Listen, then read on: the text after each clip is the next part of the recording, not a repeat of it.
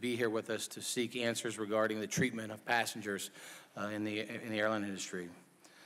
Now, our air travel can be a stressful experience for passengers, as, as many of us uh, on this dais knows, we are passengers. Many here are passengers uh, on a twice-a-week basis, flying all over the country. But anyone who flies knows. From our perspective, there were four, there were many failures, but there were four main failures that we outlined in this report. First, we called on law enforcement when safety or security did not exist. That should never happen, period.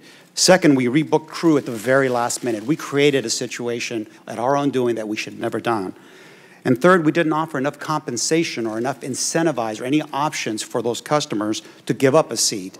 We had a horrible failure three weeks ago. It is not who we are. It is not this company. And then, frankly, it's not this industry. It is, we have many, many uh, successes, and it's important to note the, the two. But we are here to talk to discuss certain issues that won't happen again. So we will work incredibly hard to re-earn not your business necessarily, but your trust, because that's the most important thing.